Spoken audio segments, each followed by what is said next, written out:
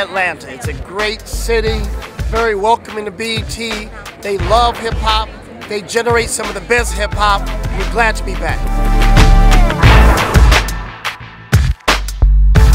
Being in my hometown, ATL, nominated for two awards, closing at the BET Awards show was crazy. This time last year, I was just watching it on TV.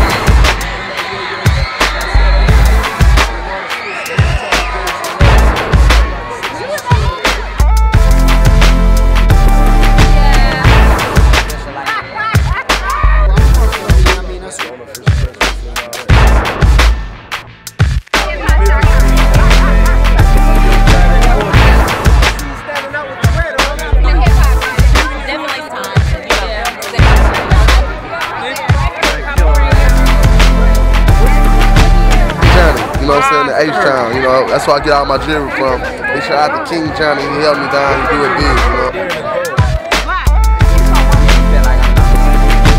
Congratulate myself, you know what I'm saying? It don't really mean nothing for real though. It's just part of the game. It's just like part of the outfit, man. You can't take it too serious, man. You can't love it. Swagger is a uh, way of thinking. I think it's about confidence. Ne-Yo swagger is comfort. You know what I'm saying? I don't try too hard. I don't try to be nothing I'm not. You know what I'm saying? I dress for comfort. I dress because it feels good to me.